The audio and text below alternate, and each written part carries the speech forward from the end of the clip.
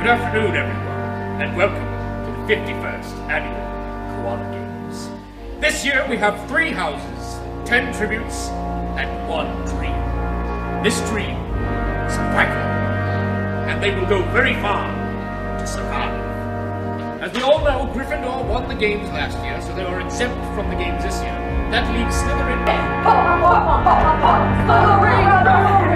Hufflepuff, and Ravenclaw.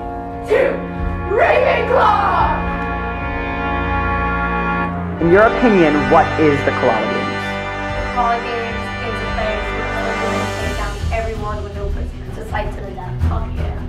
Lisa, have the games caused any tension between you and your sister? Here's my sister. She's a little weak-minded bitch. I'm gonna win this. Yeah? I'm gonna win Strass. This is mine. My team. I am Hufflepuff, not them. Whoever said Hufflepuffs were loyal never met this Hufflepuff. So you're gonna strategize. That is what we plan to do. For months, tensions have been rising, leading up to this moment. Are you back? Oh my god! The moment where they either koala or die.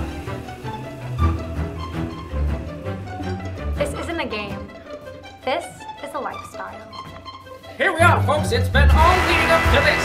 Ten children are about to enter, but only one will make it out. The countdown is beginning.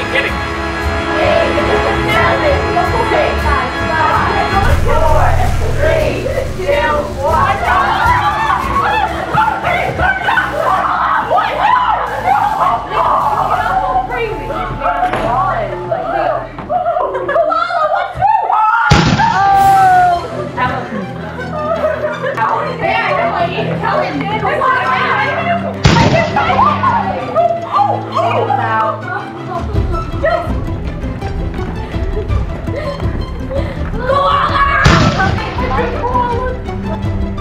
I killed Emily and I killed her and I liked it. Is that a person? You?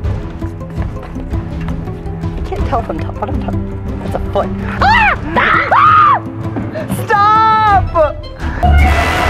Can I turn the lights on?